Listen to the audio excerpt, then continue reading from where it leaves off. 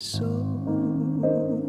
it seems that we have met before and laughed before.